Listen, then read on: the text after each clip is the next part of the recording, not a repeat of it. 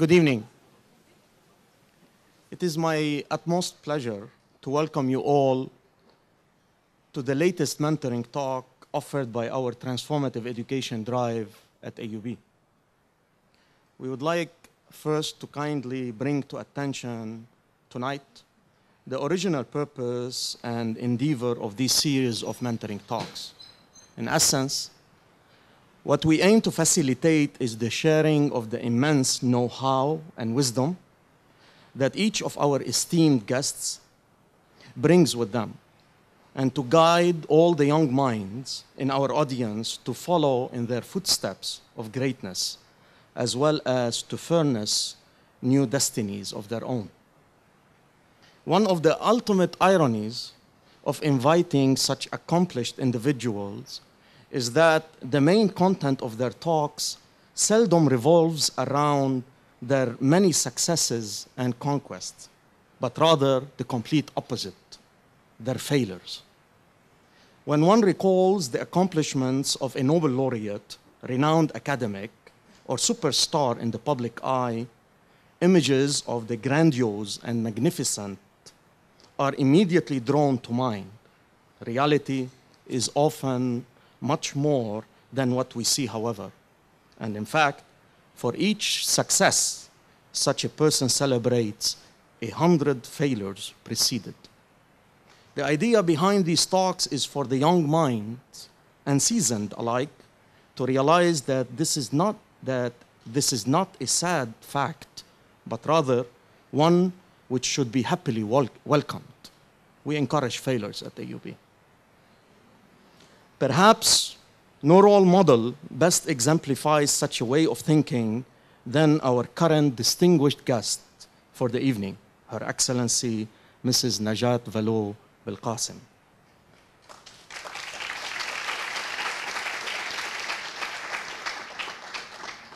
It has been said by Friedrich Nietzsche that, quote, it has gradually become clear to me what every great philosophy up till now has consisted of, namely autobiography. End of quote. This statement holds especially true when we examine the life and attitude of Her Excellency Valo Belqasim.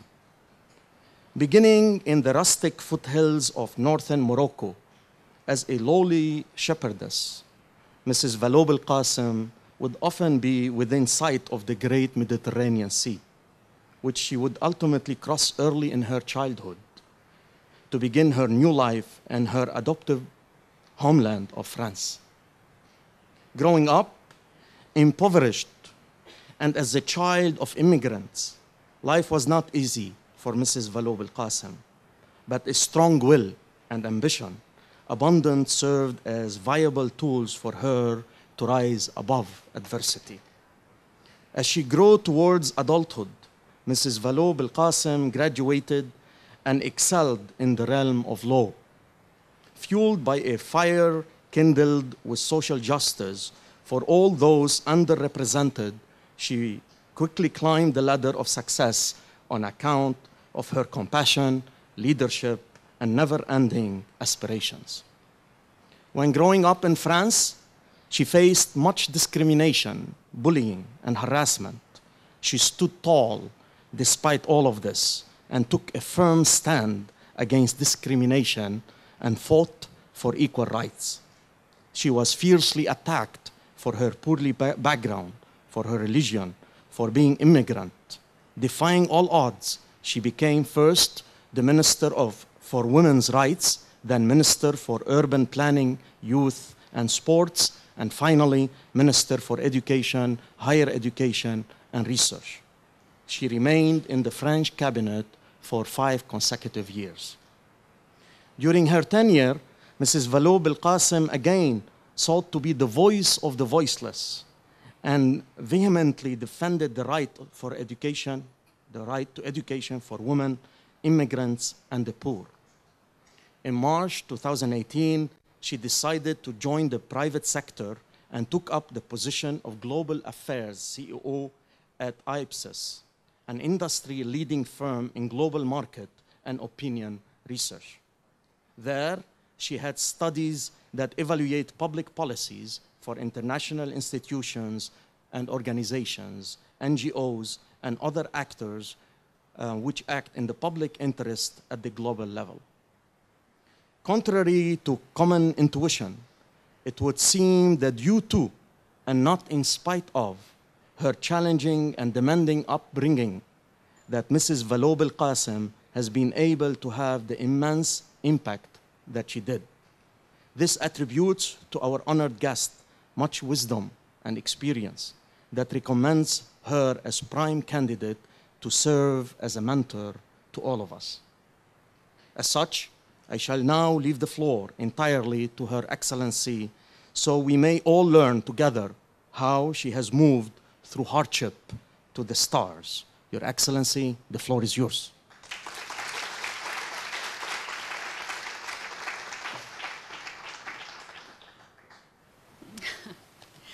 Hi, everybody. Thank you so much. It's such a pleasure and an honor to be here with you tonight. And I want to thank you for your warm welcome and thank you, Bilal, for your invitation, but also for your patience in organizing this great event. I'm really so proud to be with you.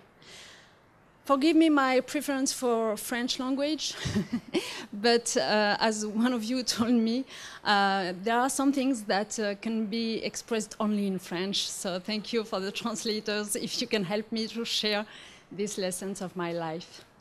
Chers amis, chers étudiants, en réfléchissant à notre rencontre de ce soir, je me suis demandé ce que j'aurais aimé avoir comme clé de lecture de la vie utile quand j'avais votre âge. Il y a des questions que dont j'aurais aimé qu'on me parle beaucoup plus quand j'avais 20 ans. Et puis il y a d'autres questions qui ne me seraient jamais venues à l'esprit. Alors j'aurais été bien en peine d'interroger qui que ce soit sur ce sujet. Ce soir, j'ai retenu trois sujets. Les deux premiers parce qu'on m'interroge souvent sur ces points. La question de la vocation, d'une part, et la question de la confiance en soi, d'autre part. Le dernier sujet, parce qu'étrangement, personne ne m'interroge jamais sur cette question pourtant essentielle, l'amour.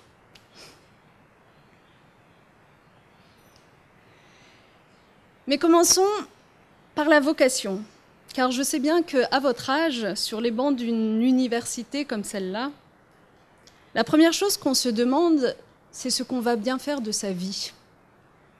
Et peut-être même que les personnalités que Bilal invite ici régulièrement pour faire des mentoring talks vous mettent une sorte de pression sur les épaules parce que vous finissez par avoir l'impression que les gens au parcours extraordinaire ont toujours été guidés par une passion, une envie présente très tôt dans leur vie, depuis l'enfance, et qui les a aidés à surmonter toutes les difficultés et tous les blocages. Alors je vous rassure tout de suite, à votre âge, bien peu de gens savent véritablement ce qu'ils ont envie de faire. Bien peu de gens ont depuis l'enfance un rêve de profession ou de vie en tête et je n'en avais pas plus que vous.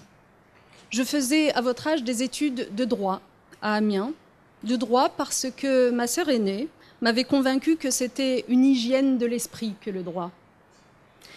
Puis j'ai poursuivi à Sciences Po à Paris parce que, d'accord pour l'hygiène de l'esprit, mais j'avais aussi un peu envie de légèreté, de toucher à tout, avant de m'engager dans une vie adulte avec travail. Au fond, si je voulais être honnête sur moi-même, mis à part une vraie passion pour la littérature qui me faisait parfois doucement rêver d'être un écrivain dans une grande maison au bord de l'eau, la vérité c'est qu'à votre âge, je ne savais pas ce que je voulais faire. On n'en est pas malheureux pour autant, et si je devais vous donner un conseil, outre bien sûr celui de travailler beaucoup, le plus possible pour réussir vos études, eh bien ce serait celui-là. Prenez le temps d'essayer de vous connaître vous-même. Passez du temps à comprendre ce que vous aimez, ce qui, vous passionne, mais aussi ce que vous détestez, ce qui fait votre force et votre talent, mais aussi ce qui fait votre faiblesse et vos vulnérabilités. Approfondissez les premières, ne perdez pas trop de temps avec les deuxièmes. Souvent, on se met une pression infernale en essayant d'être infaillible sur tous les points. Je vous le dis, c'est inutile parce que vous n'y arriverez pas. Et c'est contre-productif parce que c'est autant de temps consacré à vous détourner de ce que vous êtes véritablement.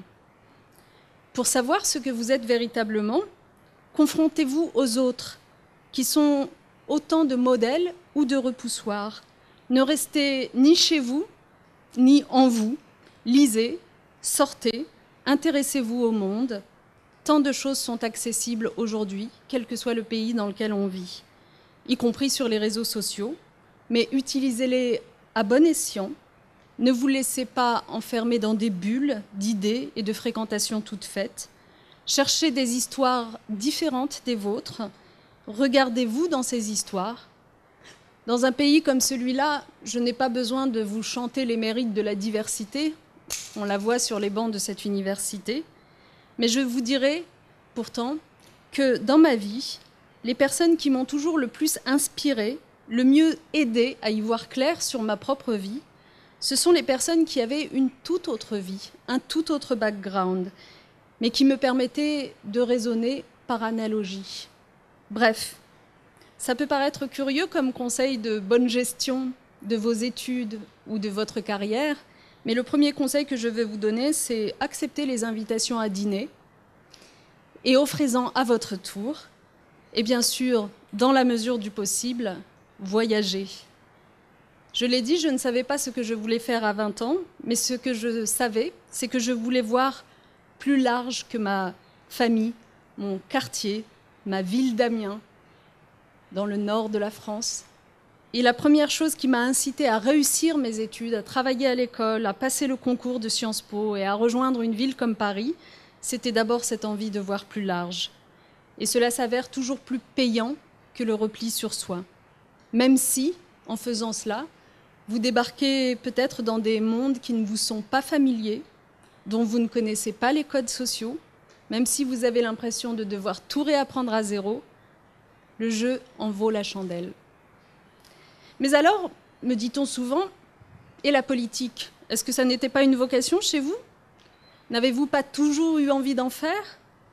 Est-il d'ailleurs seulement possible de faire de la politique si on n'a pas cette vocation en soi depuis le plus jeune âge? Je vous répondrai que oui, il est possible de faire de la politique à n'importe quel âge et sans avoir pour cela besoin d'une vocation. La seule question à vous poser avec la politique, ça n'est pas est-ce que j'ai rêvé d'être président de la République depuis l'âge de 13 ans? Ça n'est même pas non plus est-ce que je suis le meilleur technicien, le meilleur leader ou le meilleur parleur de cette université, de cette ville ou de ce pays? Non, la seule question à se poser, c'est qu'est-ce que mon université, ma ville, mon pays risque de perdre si je ne suis pas là pour le défendre moi-même parce que j'y suis viscéralement attachée. Je me suis engagée au début des années 2000, non pas par intention de diriger ou par conviction d'être la meilleure, mais parce que, en France, cette année-là, le Front National arrivait au second tour d'une élection présidentielle.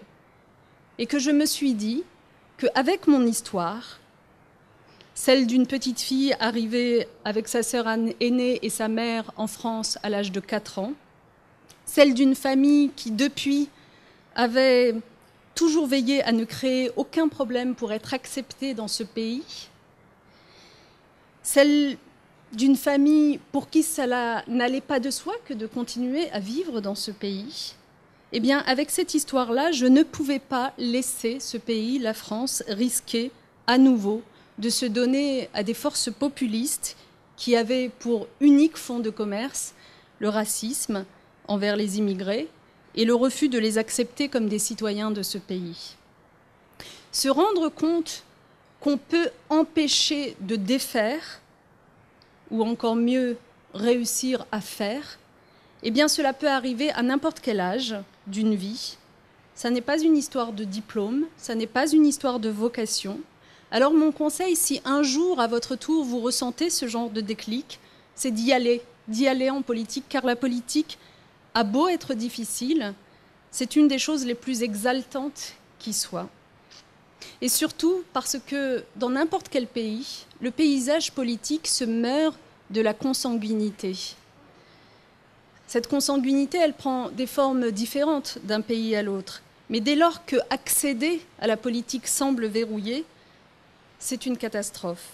Parce qu'un paysage politique réservé à quelques-uns, cela veut dire qu'il n'y a plus de place pour la diversité d'expériences, ni pour l'imagination et l'émulation créatrice, ni souvent pour la véritable démocratie. J'ai la chance de vivre dans un pays, la France, qui, bien qu'il ait longtemps souffert de cette absence de diversité ou même de parité homme-femme en politique, s'est résolu à y mettre un terme progressivement ces dernières années. Un pays dans lequel il est permis à quelqu'un qui est né à l'étranger de pouvoir un jour candidater pour devenir président de la République. Ça ne veut pas dire qu'il y arrivera, mais en tout cas qu'il peut candidater, ce qui n'est pas le cas, comme vous le savez, dans bien des pays. Donc si un jour, à votre tour, je sais bien que tous les pays n'ont pas cette ouverture-là, mais si un jour, à votre tour, vous ressentez ce déclic de l'engagement, allez-y. Ce sera peut-être dans des ONG, dans un cadre local, ce sera peut-être simplement en vous exprimant dans les médias, ou même dans une entreprise avec des valeurs fortes, mais allez-y. Mais tout cela, s'engager, ça pose la deuxième question que je voulais aborder avec vous ce soir, la question de la confiance en soi. C'est sans doute le plus difficile des challenges lorsque vous avez un parcours comme le mien. Partout dans le monde, et c'est le cas en France aussi, ceux qui se lancent en politique sont généralement assez sûrs d'eux, car ils viennent plutôt des grandes familles, des meilleures écoles, ont un capital culturel élevé et ont nourri l'idée de se lancer en politique depuis leur plus jeune âge. Mis à part être diplômé d'une bonne école, je ne rassemblais pour ce qui me concerne aucun de ces critères et je ne correspondais à aucun des standards attendus. Je n'étais pas un homme, je n'étais pas âgé, je n'étais pas un notable et mes premiers pas en politique n'ont pas été si simples les commentaires rabaissants sur ce pourquoi j'étais là, être un pot de fleurs, les tentations de vous ranger en permanence dans des petites cases. On cherche à faire de vous la représentante d'une petite communauté, la communauté maghrébine en l'occurrence, alors que vous, vous cherchez à être la représentante de toute la nation. Les procès en incompétence, les procès en illégitimité, j'ai évidemment connu tout cela. Et ce fut un combat qui malheureusement ne s'arrête jamais. Car quelles que soient les preuves que vous faites, quelles que soient les démonstrations que vous donnez de votre compétence, de votre légitimité, de votre combativité, plus vous montez en puissance et plus vous réveillez l'hostilité de tous ceux pour qui, au fond, la compétence ou la légitimité ne sont que de faux prétextes et qui ne vous reproche en réalité qu'une seule et toujours même chose, votre différence. Votre différence de lieu de naissance, de religion, de culture, de sexe. Et plus je montais haut, en particulier comme ministre de l'Éducation nationale, qui est un poste particulièrement valorisé en France, et c'était d'ailleurs la première fois qu'une femme était nommée ministre de l'Éducation nationale, plus je montais haut, plus cela devenait insupportable à ceux qui détestaient cette différence. J'ai reçu beaucoup de noms d'oiseaux, beaucoup de haine irrationnelle, beaucoup surtout de rumeurs tendant à tronquer ce que j'étais en train de faire comme responsable politique. Être ministre dans ces conditions, c'était comme marcher sur un fil tendu en pleine tempête et bourrasque permanente, tous les jours. Il m'est arrivé d'être surnommé en couverture de médias, de journaux d'extrême droite, l'ayatollah, la khmer rose, la casseuse, la ravageuse et tant d'autres expressions fleuries que je préfère oublier dans les égouts de l'histoire. Pas un seul débat politique me concernant n'a échappé à une part de fantasmagorie autour de l'idée que j'étais en train d'islamiser la France. Oui, mon parcours n'a pas été un long chemin de rose. Entre parenthèses, ce que j'ai appris à ce moment-là, car vous imaginez bien que j'ai tenté bien des choses pour éteindre un à un les feux qui s'allumaient, ce que j'ai appris, c'est qu'il ne sert à rien de s'énerver.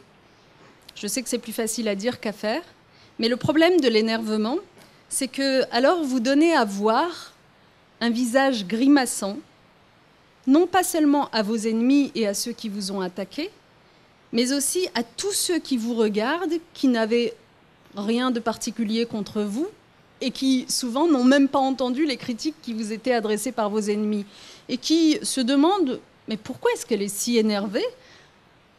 Pourquoi est-ce qu'elle est si sectaire et qui finissent par vous percevoir négativement? Donc non, dans ce genre de situation, s'énerver ne sert à rien. Ce que j'ai appris, c'est que la seule bonne réponse aux attaques et aux rumeurs absurdes, c'est l'humour. Tourner en dérision, mettre à distance, donner à voir l'absurdité et l'incohérence des choses qui vous sont reprochées.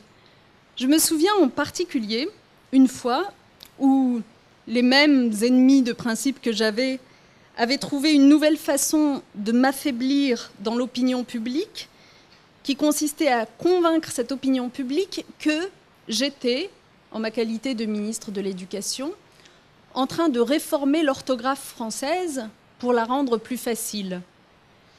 Autant vous dire qu'en France, dire qu'on est en train de rendre l'orthographe plus facile, c'est quelque chose d'extrêmement négatif.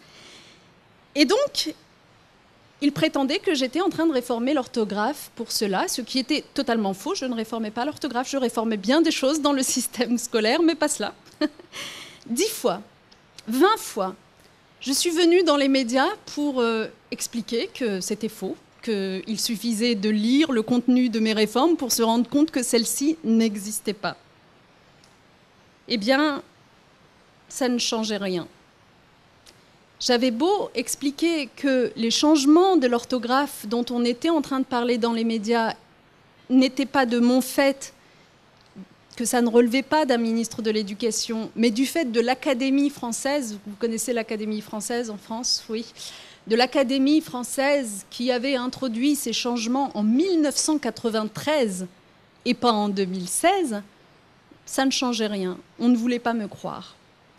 Alors, un jour, alors que j'organisais une grande journée de travail et de réflexion sur les théories du complot, les théories du complot qui malheureusement sont trop présentes dans les écoles, j'ai ouvert cette grande journée, cette conférence, par un discours dans lequel j'ai décidé de me féliciter d'être arrivé à mes fins avec cette réforme de l'orthographe sur laquelle je travaillais depuis très longtemps, c'est ainsi que j'ai dit les choses, avec la plus grande des passions, au point que j'avais réussi en 1993 à convaincre l'Académie française d'adopter ces changements orthographiques alors que je n'avais que 13 ans. Et vous savez quoi? Eh bien, ce n'est qu'avec ce discours qu'on retrouve encore sur les réseaux sociaux, si vous voulez le chercher, vous le trouverez, que enfin l'absurdité de l'accusation qui m'était faite est apparue aux gens dans toute sa splendeur. Donc, mon autre conseil, mettez toujours les rieurs de votre côté lorsque vous êtes attaqué. Bien évidemment, pour cela, il faut avoir un peu d'humour. Et parfois, quand on est trop énervé, on n'a plus d'humour. Mais dans ce cas-là, gardez toujours quelqu'un à vos côtés qui, lui, ait de l'humour pour deux. Mais j'en reviens à mon sujet, la confiance. Le problème, c'est que de tels combats, même si vous ne vous laissez pas faire, sont toujours des coups rudes portés à votre confiance. Or, cette dernière, la confiance, est absolument essentielle. C'est votre gilet pare-balles dès lors que vous vous lancez dans la vie publique. Il faut la travailler. Et elle n'est pas spontanément là, et en particulier chez les filles. N'est-ce pas, mesdemoiselles? Ce n'est pas grave. Ça se travaille, la confiance. De quoi parle-t-on? D'abord, la confiance en vos capacités. La première fois que j'ai dû m'exprimer dans une réunion de mon parti politique, ma première télévision, mon premier meeting devant 800 personnes, mes premiers débats, ma première conférence de presse, ma première fois à l'Assemblée nationale en train de défendre un texte devant une opposition remontée, mes premiers pas de ministre de l'Éducation nationale nommé une semaine avant la rentrée scolaire. Je vous laisse imaginer combien chacune de ces premières, pour moi, a été une tension. Cent fois, je me suis demandé si j'allais y arriver, si j'oserais prendre la parole, quand j'allais trébucher, perdre mes mots, me ridiculiser, perdre ma voix. Vous savez, dans une expérience comme la mienne, la maîtrise de la parole, l'éloquence, ça compte énormément. J'ai été deux fois porte-parole de candidat à l'élection présidentielle, comme l'a rappelé Bilal, une fois en 2007 avec Ségolène Royal, une fois en 2012 avec François Hollande. Puis ensuite, j'ai été porte-parole du gouvernement, donc euh, la question de la parole est absolument majeure. Et ce qui était frustrant au début, c'est que c'est la nuit, en plein milieu de mon sommeil, que je trouvais les formules les plus brillantes, évidentes, efficaces, qu'il m'aurait fallu prononcer, mais quand le jour venait, je les avais oubliées. Elles ne me revenaient pas. Le stress, le trac peuvent vous couper les ailes. Et s'il n'y a rien de mieux pour les dissiper que de se jeter dans le bain et de recommencer jusqu'à acquérir des formes d'automatisme, je veux néanmoins ce soir partager avec vous deux trucs qui ont fini par m'aider, car vous serez parfois confrontés à ce genre de situation. La première chose, c'est d'abord soyez vous-même. N'essayez pas de ressembler à quelqu'un d'autre. Sinon, quel intérêt de vous exprimer? Alors, plutôt que de chercher à vous rassurer à bon compte en reproduisant ce que vous avez déjà entendu ailleurs, en utilisant des formules et des arguments éculés et sans risque, déjà utilisés par ailleurs, écoutez plutôt cette petite voix du soir celle qui vous parle en plein milieu de votre sommeil, qui, elle, trouve, même avec du retard, les mots, les arguments, les réparties. Notez-les, vous les réutiliserez plus tard. Et parce qu'elle se sentira écoutée, cette petite voix, elle reviendra et elle s'habituera à prendre plus de place en vous le jour et pas seulement la nuit. Car cette voix, c'est votre véritable vous. D'accord pour les mots, me direz-vous, mais même si on trouve les mots, que faire du trac quand vous êtes là devant un public et que ce stress vous empêche parfois de les prononcer, les mots? Eh bien, figurez-vous que c'est mon jeune frère, qui est metteur en scène de pièces de théâtre, qui un jour m'a donné la solution. Ces instants stressants, où les yeux sont rivés sur toi, où certains attendent que tu t'effondres, vis-les, m'a-t-il dit, comme une pièce de théâtre qui se déroulerait sous tes yeux. Tu vois les acteurs évoluer, tu peux guider l'un d'entre eux, c'est-à-dire toi, mais tu es extérieur à cette scène. Et tu la jugeras, cette scène, avec plus de distance et donc de confort, et surtout avec des yeux plus équitables que quand tu te juges de l'intérieur, car tous ceux ici qui manquent un peu de confiance en eux le savent, on est affreusement difficile, exigeant, injuste envers soi-même quand on manque de cette confiance. Eh bien, se regarder de l'extérieur, comme si on était un autre, vous fait adopter à votre égard la bienveillance que vous auriez eue à l'égard d'un autre. Voilà ce qui change la donne et qui dissipe le trac. Je ne sais pas si c'est une solution universelle, mais sur moi, elle marchait plutôt bien. Confiance en soi, donc. Deuxièmement, confiance en vos convictions, ce que vous croyez juste. Dix fois, vingt fois dans votre vie, et quel que soit votre secteur d'activité, vous serez confronté à des combats dans lesquels vous devrez choisir entre avoir tort avec tout le monde ou avoir raison tout seul. Dix fois, vingt fois, vous serez tenté par le confort d'avoir tort avec tout le monde un peu comme des moutons de panurge, parce que ça tient chaud d'être ensemble. Eh bien, mon conseil ce soir, si vous savez que vous êtes dans le tort et que les autres sont dans le tort, préférez avoir raison tout seul. Le jeu en vaut définitivement la chandelle. Lorsque j'étais ministre des droits des femmes, cette fois-ci, portée par mon combat contre les violences faites aux femmes, j'ai considéré que la prostitution était aussi une violence faite aux femmes et qu'elle ne s'arrêterait jamais si on ne frappait pas le cœur du système, c'est-à-dire les clients de la prostitution eux-mêmes. J'ai voulu faire passer une loi qui pénalise les clients de la prostitution. C'était quelque chose d'inimaginable en France où, sous couvert de liberté sexuelle, il paraissait liberticide de s'attaquer aux clients. Entre parenthèses, en revanche, ça ne dérangeait pas grand monde que ce soit les prostituées elles-mêmes qui soient pénalisées, comme si c'était elles les coupables de la situation. J'ai donc voulu renverser la charge. Durant des mois et des mois, cela a été une bataille absolument infernale. J'étais accusée de tous les maux.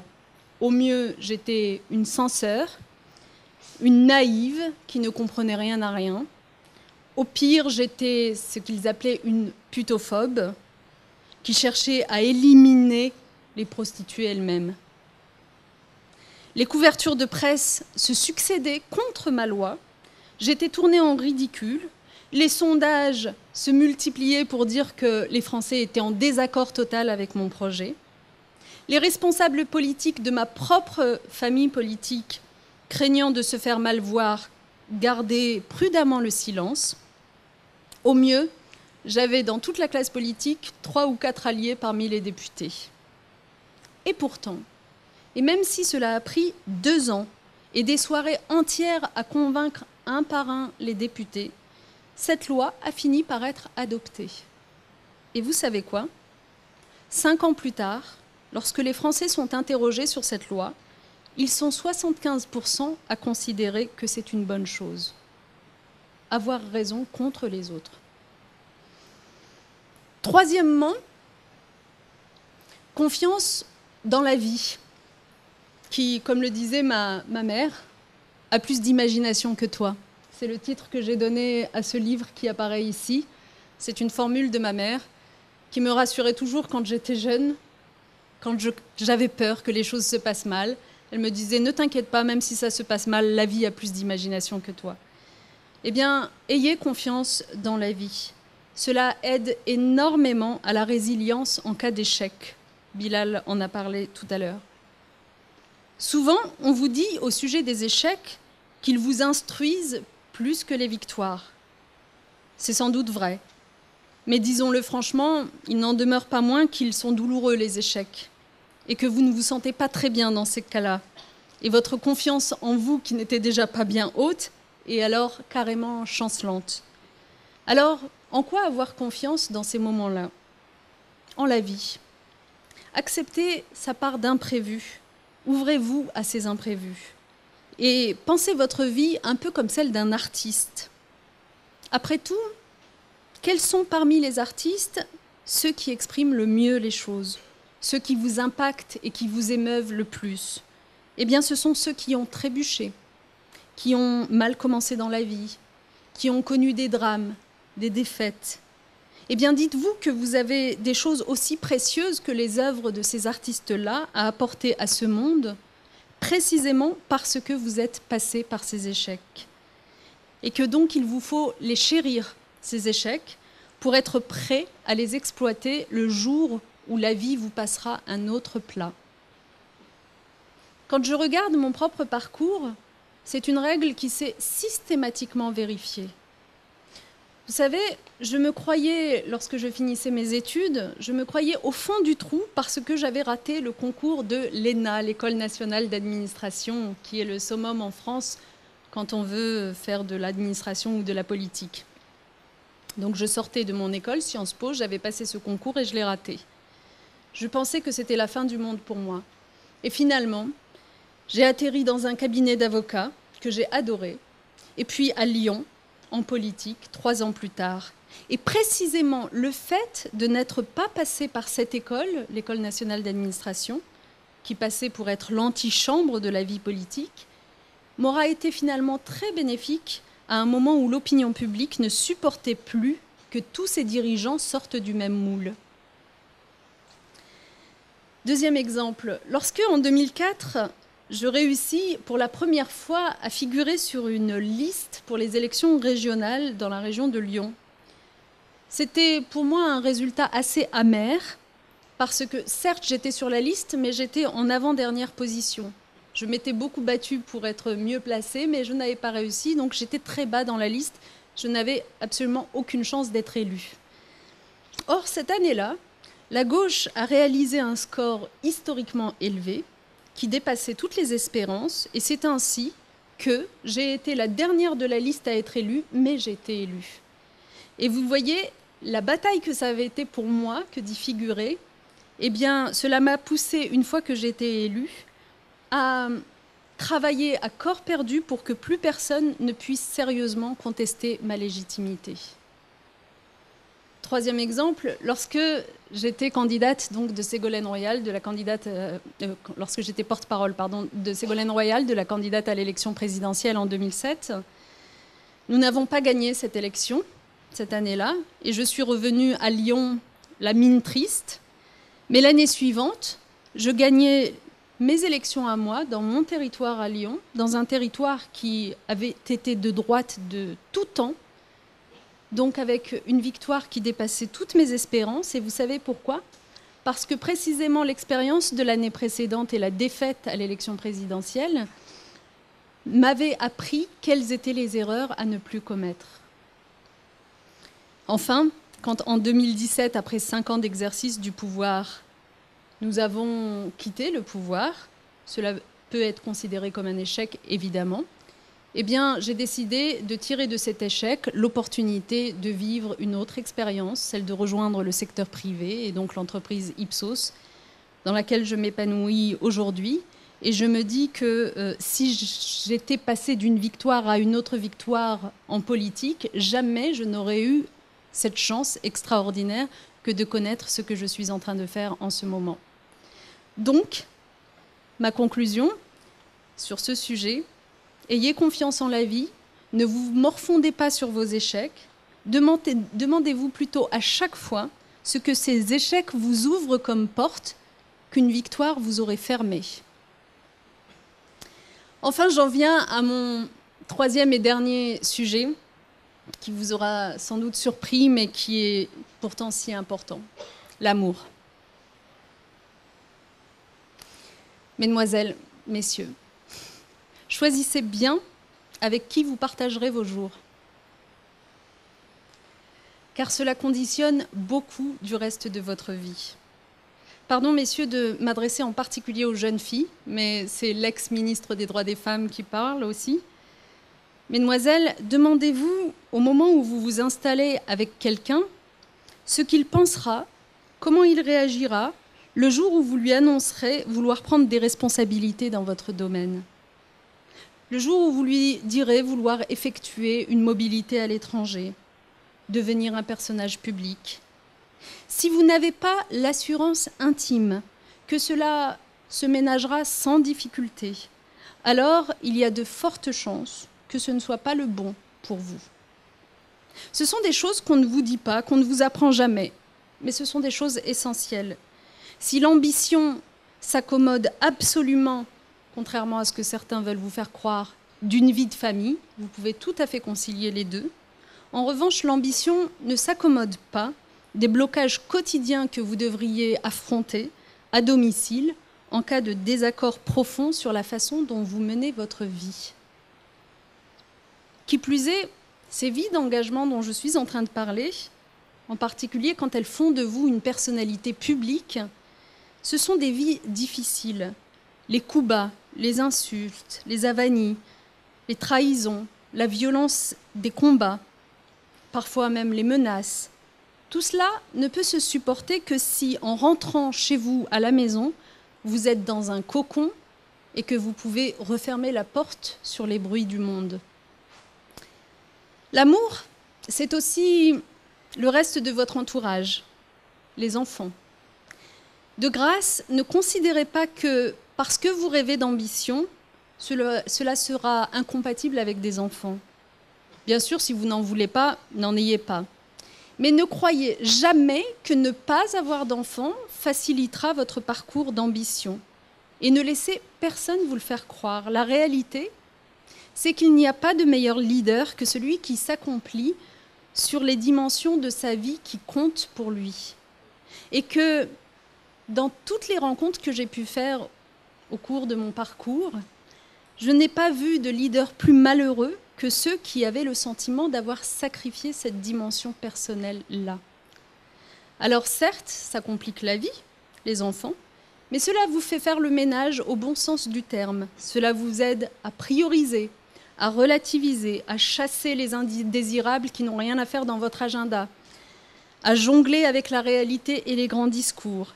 Il n'y a vraiment rien de mieux pour cela que d'avoir des enfants, que de connaître leurs exigences, leurs bobos qui vous obligent à rentrer plus tôt que prévu, leurs devoirs à faire et leurs repas à acheter.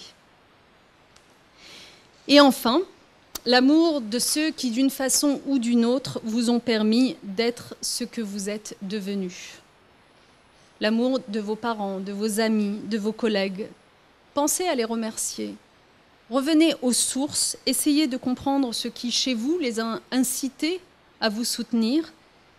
Tâchez de ne pas les perdre de vue. Gardez-les près de vous dans les moments difficiles. Ne vous en éloignez pas lorsque le pouvoir, le succès ou l'argent pourraient vous monter à la tête. Nourrissez-vous de leur bienveillance plutôt que d'aller lire les harceleurs ou les trolls sur Internet. Car n'oubliez pas, à nouveau, lorsque vous vous engagerez dans une vie de combat ou une vie publique, ce qui va avec cette ambition, c'est les ennemis.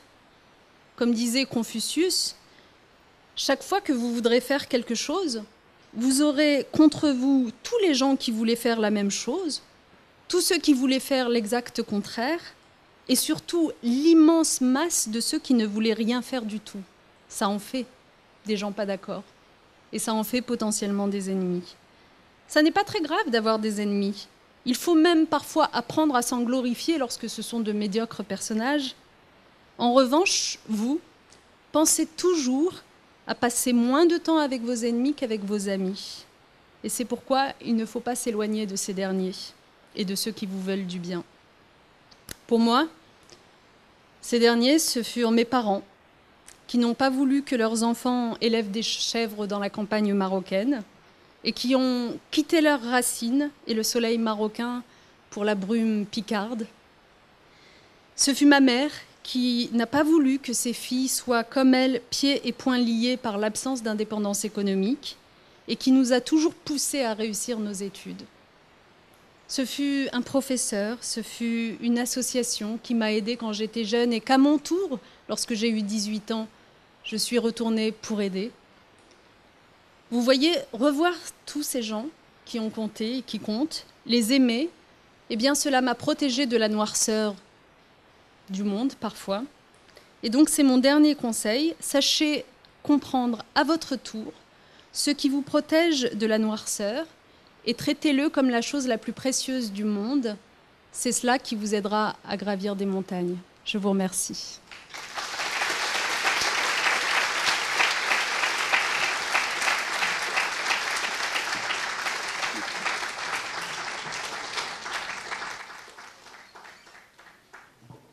Uh, take questions, and we can take questions in French and in English.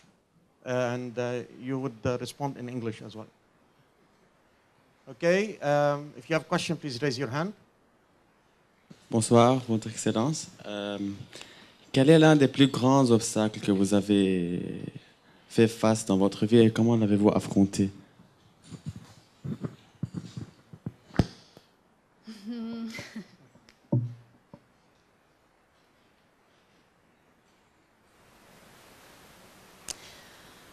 Je crois que l'un des plus grands obstacles, c'est ce que j'ai essayé d'expliquer, euh, au fond, ça n'est pas les gens qui ne sont pas d'accord avec vous.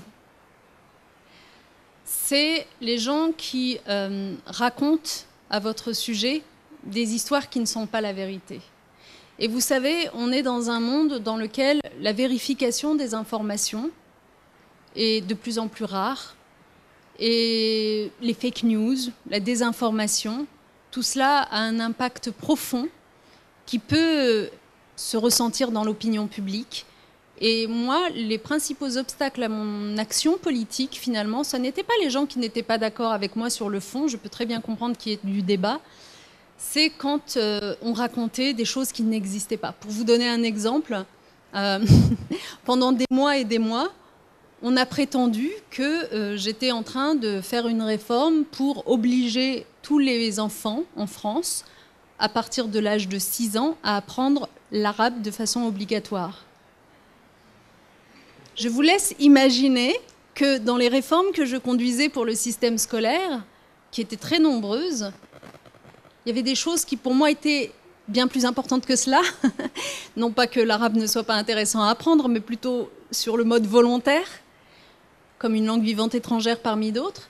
Moi, j'étais, je consacrais toutes mes journées à faire en sorte qu'on ait moins de décrocheurs scolaires dans le système, parce qu'on avait trop de jeunes gens qui sortaient des études sans avoir aucun diplôme. Et donc, en l'espace de trois ans, j'ai réduit de moitié le nombre de jeunes qui étaient dans cette situation je consacrais mon temps à euh, rendre le système scolaire plus juste parce que on avait un système à deux vitesses avec certaines écoles qui étaient richement dotées, d'autres qui étaient plus pauvres et donc toute ma politique consistait à donner plus aux écoles qui étaient plus euh, pauvrement dotées. Je consacrais mon temps à mieux former les enseignants parce que j'étais convaincue que le cœur de, l'éducation, c'est euh, la qualité des professeurs et c'est le fait qu'ils soient formés tout au long de leur vie. Mais ça, on n'en parlait pas. Ce sur quoi ceux qui voulaient me nuire m'attaquaient, c'était toujours sur des choses qui n'existaient pas. Et comme malheureusement on est dans un système où, euh, encore une fois, les informations ne sont pas vérifiées, des gens vont dire des choses à la télévision, mais personne ne vient les contredire, etc. Eh bien, parfois, j'avais l'impression de prêcher dans le désert, et, euh, et c'est ça l'obstacle le plus difficile. C'est d'ailleurs pour ça que depuis que je me suis mise en retrait de la politique, vous savez, donc j'ai rejoint le secteur privé d'une part, mais j'ai aussi créé euh, au sein d'une maison d'édition une collection d'ouvrages où je demande à des chercheurs de s'exprimer sur des grands débats d'actualité pour venir éclairer l'opinion publique sur la base de faits, de, données scientifiquement établies. Parce que j'accorde une importance euh, considérable à la vérité, en quelque sorte, et que j'ai vraiment souffert du mensonge en politique. Please go ahead.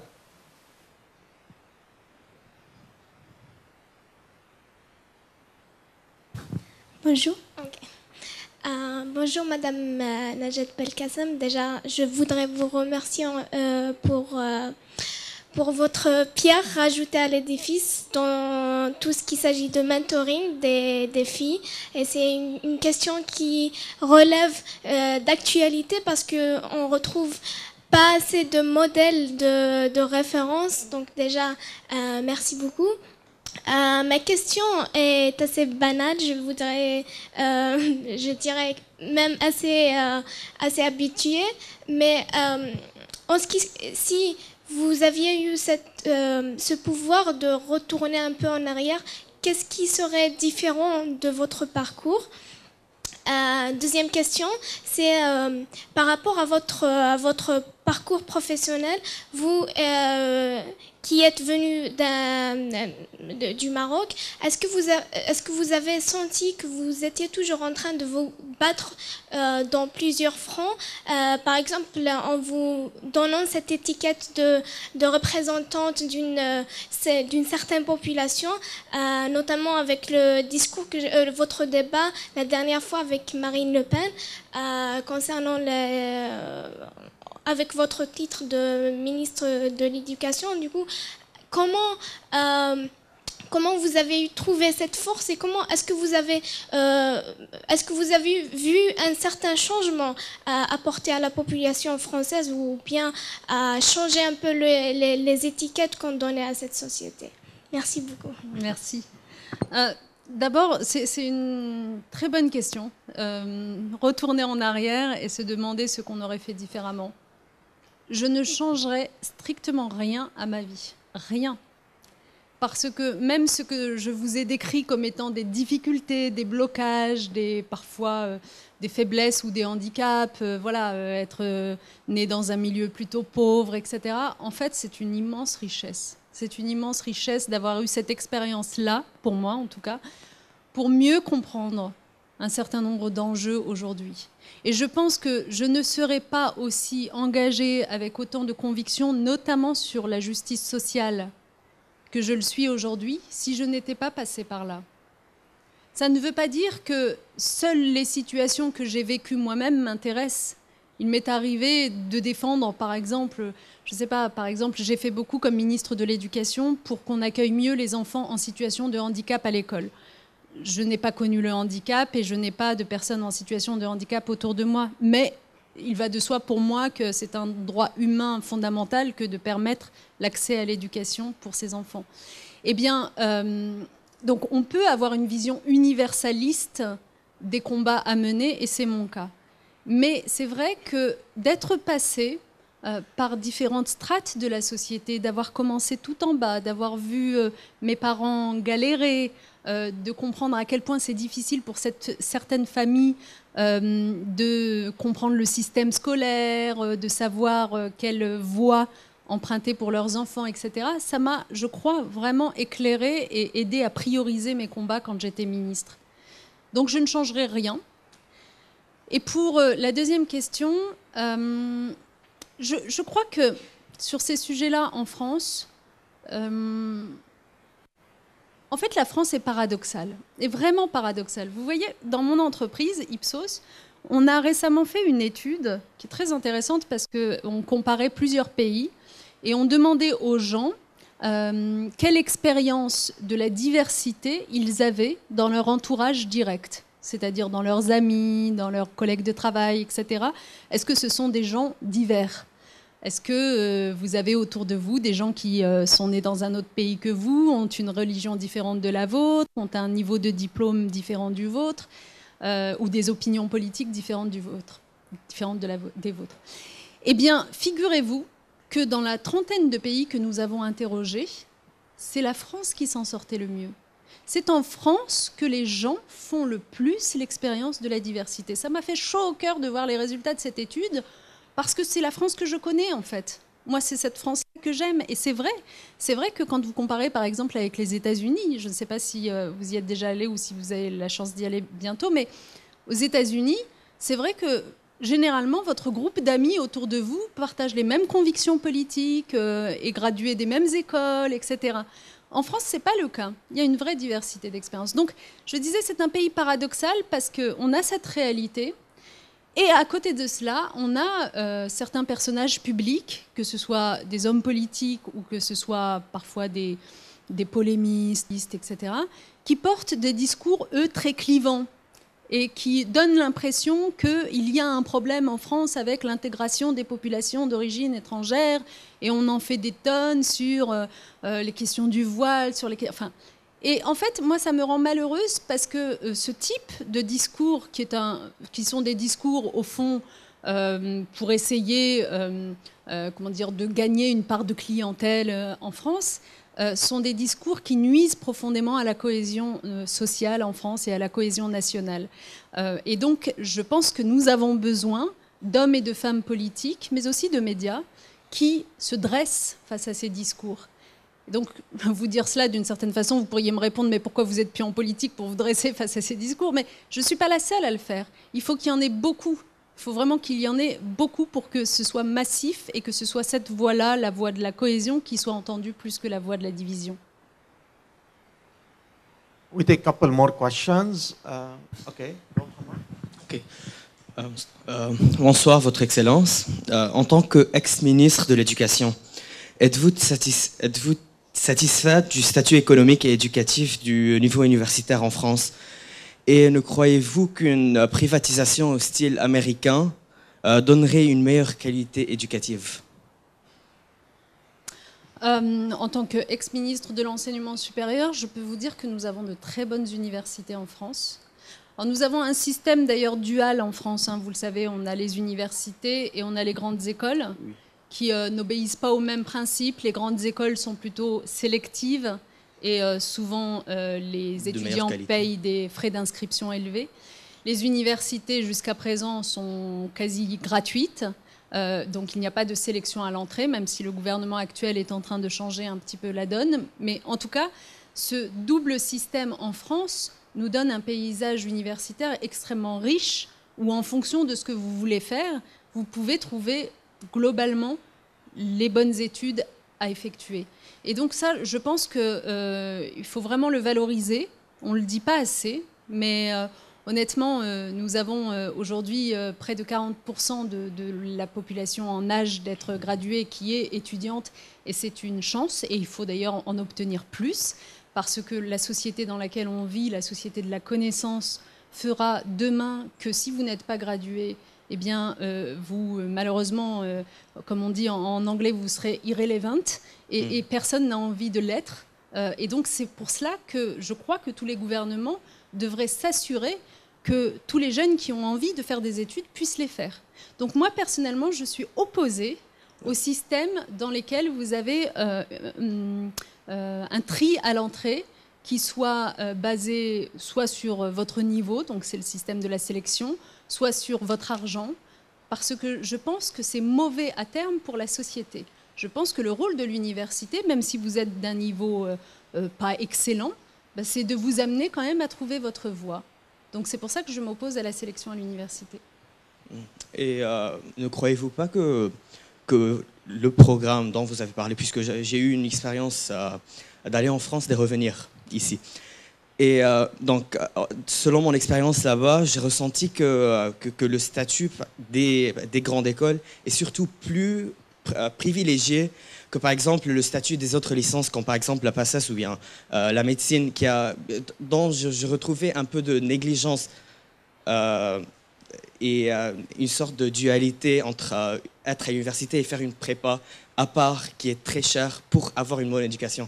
Donc, euh, avez-vous quelque chose, avez-vous une opinion par rapport à cela?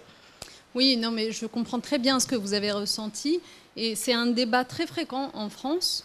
Euh, la solution, c'est de donner plus de moyens à l'université. Oui. C'est de donner plus de moyens à l'université. C'est très important parce que l'université, au fond, elle a euh, un rôle différent de celui des grandes écoles. En quelque sorte, disons que les grandes écoles, c'est fait pour des gens qui euh, savent déjà qu'ils veulent être ingénieurs ou qui veulent faire du commerce, etc. Et donc, du coup, ils vont dans une scolarité qui est déjà toute tracée. L'université, l'immense chance qu'elle donne, c'est de pouvoir se chercher encore. Donc, d'assister à des cours, de euh, finalement euh, se dire que c'est pas ça qui nous intéresse, c'est autre chose. C'est un bain de culture. Et à la fin, cela vous donne des, diplômes qui néanmoins sont très reconnus, hein, l'université française. Mais vous avez raison, encore faut-il que les étudiants puissent étudier dans de bonnes conditions. Et on a connu ces dernières années une augmentation très importante du nombre d'étudiants en France euh, qui euh, nécessiterait de mettre plus d'argent dans ces universités. Et, et donc c'est aussi moi ce que je prônais. On a augmenté les crédits euh, quand j'étais ministre. Il faudrait poursuivre. So you came back from France and now you're pre-med at AUB and you're taking my course. Okay. Please go ahead. Euh, hello, Euh, je vais commencer par vous souhaiter que vous êtes la bienvenue d'être Merci. ici parmi nous à l'Université américaine de Beyrouth. Je suis prof de Sciences Po ici. Et euh, vraiment, c'était un grand plaisir de vous entendre parler de, de la vocation, de, euh, de la confiance en soi et surtout de l'amour, la troisième phase que vous avez parlé. Euh, je suis sûre que je vais répéter tout ça à tous mes étudiants que- parce qu'on a toujours la dernière semaine maintenant avec eux. Euh, juste une petite question. Euh, Cette transitivité, vous avez dit que euh, la positivité de cette transition au secteur public, venant euh, de cette vie politique, de cette expérience riche en politique, euh, je veux juste cette, comment dire, added value, la valeur ajoutée. De passer dans le secteur privé? Oui, oui. Ben, pour moi, ça a été une expérience extrêmement intéressante. Au début de ma vie active, comme je crois que je l'ai dit tout à l'heure, euh, quand j'ai fini mes études, j'ai travaillé, mais j'étais dans un cabinet d'avocats euh, au Conseil d'État et à la Cour de cassation. Donc en France, c'est quelque chose de quasiment public. Donc ce n'était pas une vraie expérience du secteur privé compétitif. Et donc, euh, lorsqu'il y a un an, j'ai décidé de rejoindre le secteur privé parce que je me suis dit, tu as 40 ans, tu ne peux pas vivre toute une vie sans savoir ce que c'est vraiment euh, le secteur privé. Eh bien, euh, d'abord, j'ai beaucoup regardé autour de moi, j'ai eu des propositions et en même temps, euh, je, je n'arrivais pas à me résoudre à l'idée que j'allais passer dans un monde dans lequel, au quotidien, je serais amenée à vendre un produit. Et je me disais, je veux bien aller dans le secteur privé, mais je veux continuer à m'occuper d'intérêt général d'une certaine façon et à euh, m'intéresser au knowledge, à la connaissance, au savoir. Et donc c'est pour ça que Ipsos, qui est donc euh, une, euh, une entreprise mondiale hein, qui est basée dans 90 pays et qui fait des études soit pour le secteur privé, soit pour le secteur public, a été un, formidable cadre pour moi parce que là, en fait, qu'est-ce que je fais au quotidien? J'étudie les comportements et les perceptions des gens à travers le monde pour mieux conseiller euh, les acteurs qui vont intervenir. Alors, soit c'est des entreprises privées, soit, pour ma part, mes clients, ce sont des institutions internationales, des ONG, des fondations qui cherchent à améliorer l'état du monde, pour dire les choses rapidement, mais qui, pour le faire, ont besoin, pays par pays, de savoir euh, ce qui parle aux gens, ce qui crée des déclics chez eux, euh, comment ils pourront s'approprier les mesures qui sont implémentées chez eux. Et donc, en fait, c'est ce que je fais. Donc, d'une certaine façon, j'ai l'impression de continuer à faire de la politique différemment. Euh, et en tout cas de m'enrichir pour ma vision politique des choses, parce que d'abord je vois les choses euh, dans une dimension mondiale et pas seulement française, qui me permet de comparer les situations. Et puis ensuite, euh, je rentre davantage dans la psychologie cognitive, ce qui fait que les gens vont comprendre ou mal comprendre, par exemple, on a une étude qu'on fait chaque année qui s'appelle Perils of Perceptions, qui est extrêmement intéressante parce que dans une trentaine de pays, on va demander aux gens, à votre avis, des questions simples, hein, à votre avis, dans votre pays, combien y a-t-il euh, de réfugiés? Combien y a-t-il de personnes obèses? Combien y a-t-il euh, de euh, grossesses précoces? Des choses comme ça. Vous voyez très différentes. Combien y a-t-il de vaccinations qui se déroulent mal et on prend les réponses de ces gens et on, se rend compte qu'en fait, euh, généralement, ils surestiment de 20 points, 30 points, 40 points la réalité des choses. Eh bien, pour moi, pour l'ex-femme politique que j'étais, comprendre ces erreurs de perception m'aide à, mieux voir en quoi on pourrait être plus efficace comme homme ou comme femme politique, euh, trouver les bons mots pour s'adresser aux gens et faire changer leur perception avant de mettre en place vos réformes, parce que sinon vos réformes, ils ne les comprennent pas et donc ils ne se les approprient pas. Uh, we, we're going to take a couple more questions, but Her Excellency has another commitment tonight. Uh, please go ahead, and then the gentleman over there. Please go ahead. Uh, bonsoir. Uh, je vous remercie pour votre témoignage. Uh, tout d'abord, uh, j'ai deux questions. première question, c'est par rapport à l'éducation nationale. Moi, j'habite en France. Mon fils, hier, il a eu l'AVS qu'on a demandé il y a un an et demi. Et c'est pour deux ans, et déjà la première année, c'est coulé. Euh, le lenteur, oui, le système, euh, j'apprécie toutes les réformes et tout ce qui existe, et je suis très reconnaissant envers ça. Mais les lenteurs et les, les bureautiques euh, qui prennent beaucoup de temps pour arriver, c'est trop dommage. Et la deuxième question, c'est euh, vous disiez que l'ex-femme politique, euh, ben, je trouve que c'est dommage parce que euh, le gauche maintenant en France est en grande difficulté. Et est-ce que vous allez rester ex-femme politique ou bien vous allez rentrer? Parce que la plupart de gauche maintenant, c'est le ex-homme ou bien ex-femme politique et c'est dommage. On laisse le terrain aux autres. Oui, c'est vrai. Uh, yeah. She promised she's moving to Beirut, so she might run for uh, elections here, here. in Beirut. Ben, au, au, Liban, au Liban, on n'a jamais eu. Please go ahead. Au Liban, on n'a jamais eu un ex-homme ou bien ex-femme politique. Ça, c'est à vie, c'est même. Euh, c'est un héritage euh, pour la famille, quoi. Vous avez quand même un, un former Minister of Education, Hassan Diab, qui a accepté de raccrocher aussi et qui euh, voilà, est revenu à l'académique et je veux le saluer. C'est vraiment un plaisir de pouvoir discuter avec lui.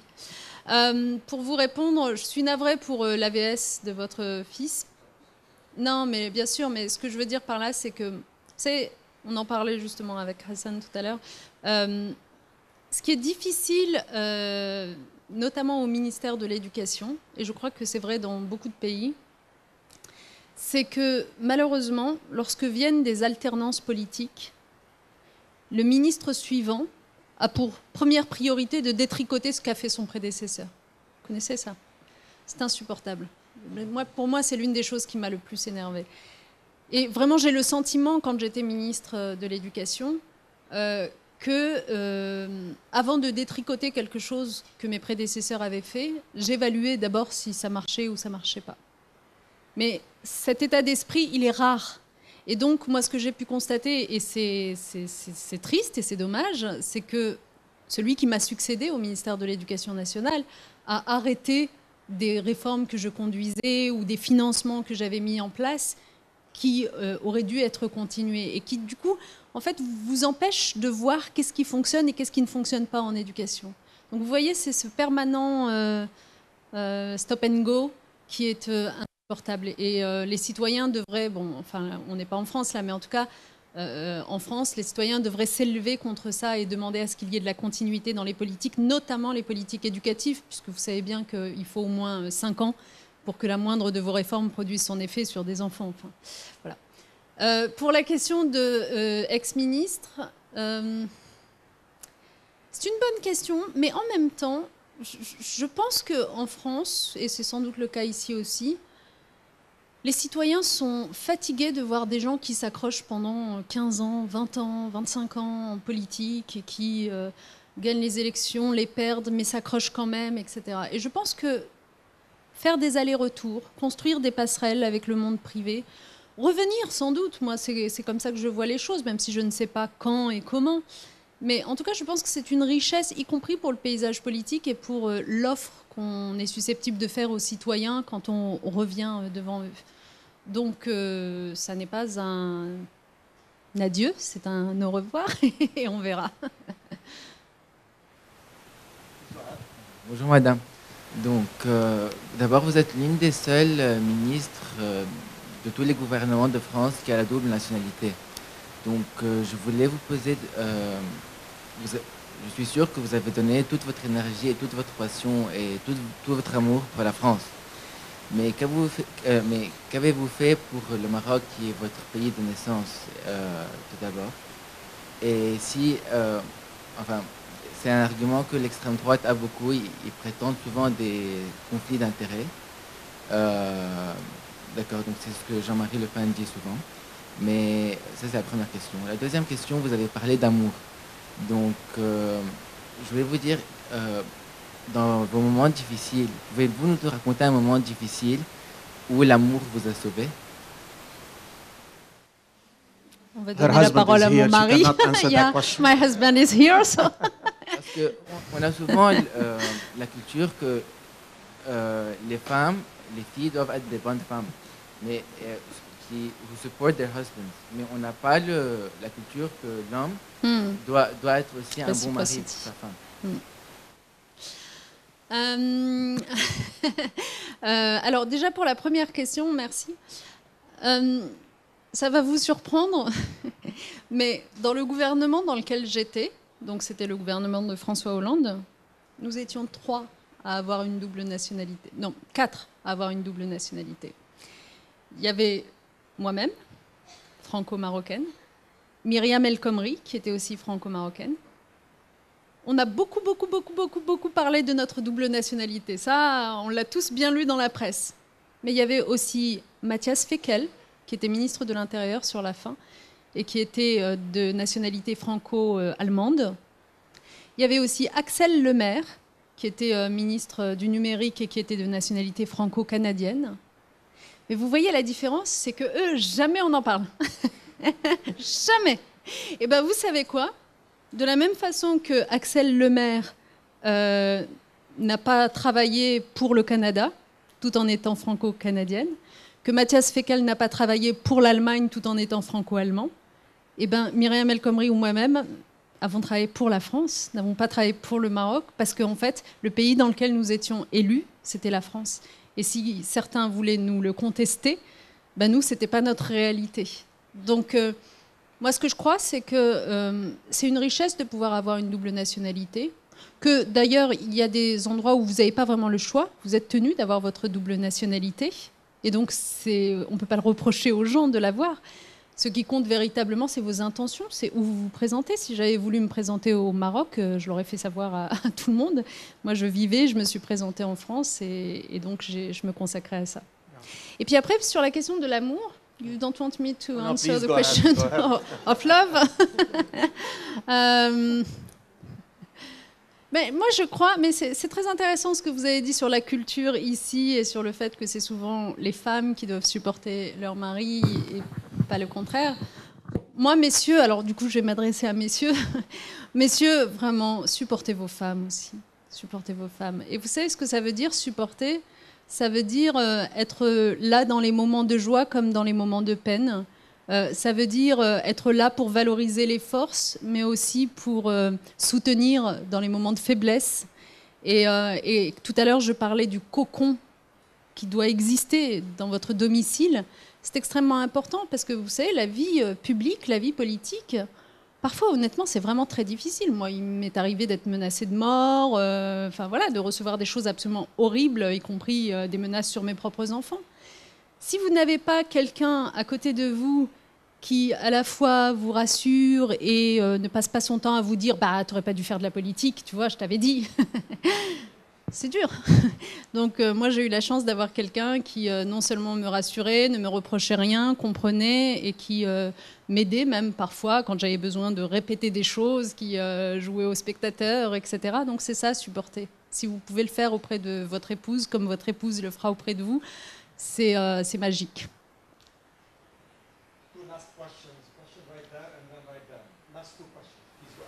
Bonsoir, Votre Excellence. Euh, votre discours fait euh, l'éloge de l'éducation supérieure, mais aussi de l'importance euh, de se retrouver soi-même et de prendre le temps de, savoir vraiment ce, ce que l'on veut faire dans la vie.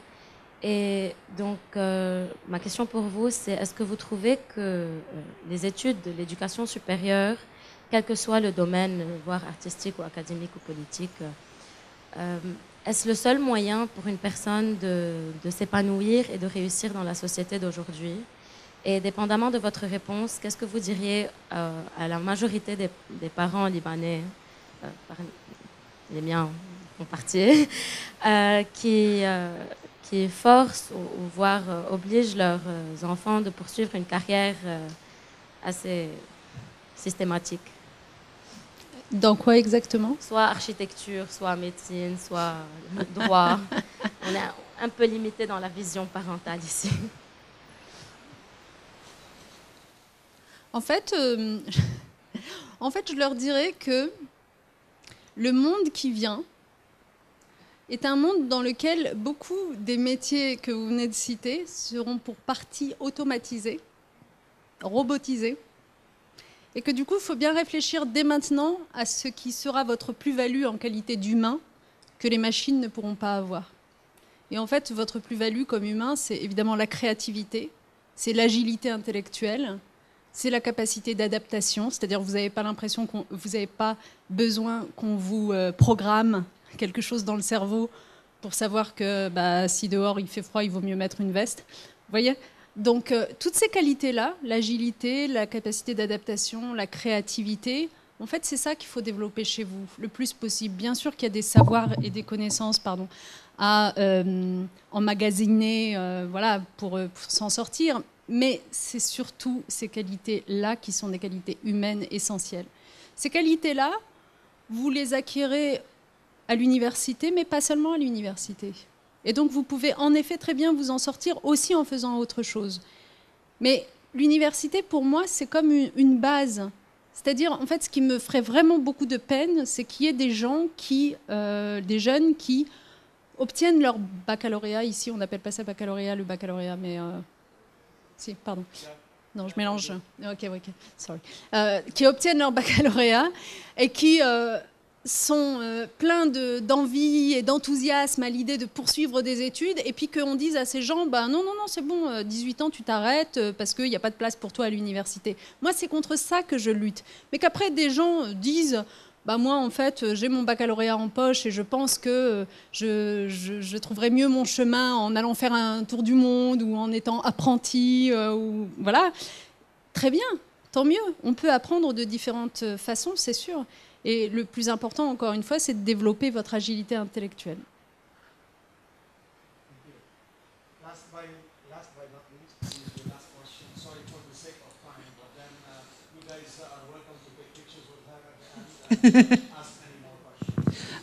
Euh, bonsoir, euh, Votre Excellence. Euh, D'abord, je voudrais vous remercier pour euh, partager avec nous tous euh, votre euh, histoire très ravissante et très bouleversante aussi.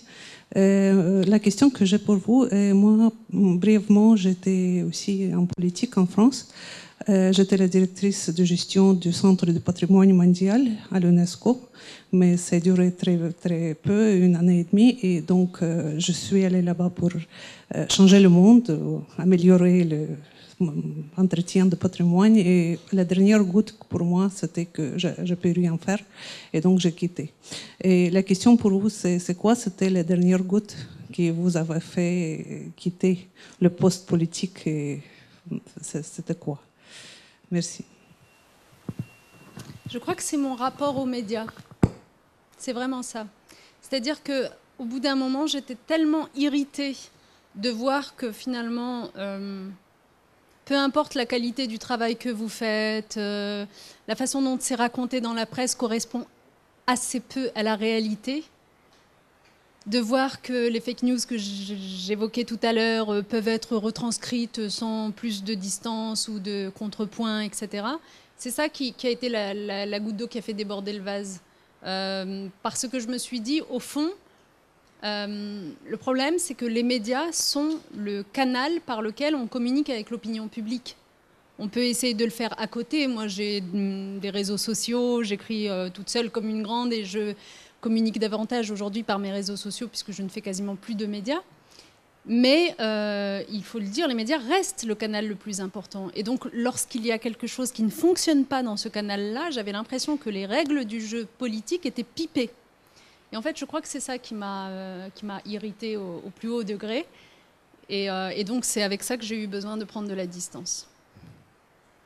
Thank you. It looks like I'm the only one who doesn't speak French in this hall. Yeah, Nobody's yeah. spoken. Let's thank uh, Her Excellency for an excellent, uh, inspiring talk. It is uh, customary that we give our uh, guests uh, a copy of the poster. So may I ask my team to join me right here for a group picture?